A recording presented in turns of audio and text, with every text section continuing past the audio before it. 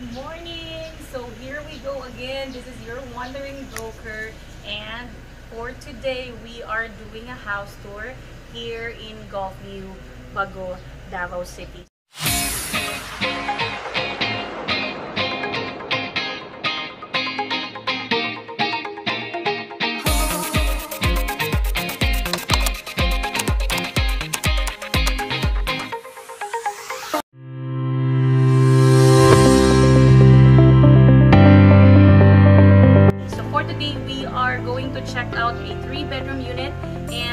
Seated at 120 square meters lot area with a total floor area of 150 square meters. And this is a two-story house again with three bedrooms. And there's a uh, master's bedroom with one bathroom and there's a common bathroom also upstairs.